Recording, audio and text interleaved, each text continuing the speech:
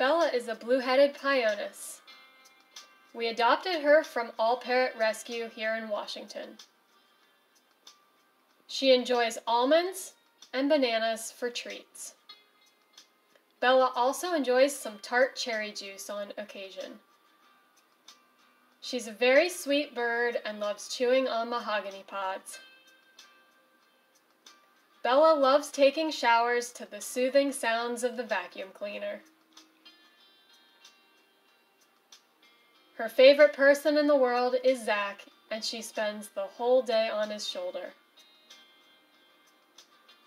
Her favorite parrot joy toy is the Naturally Fantastic.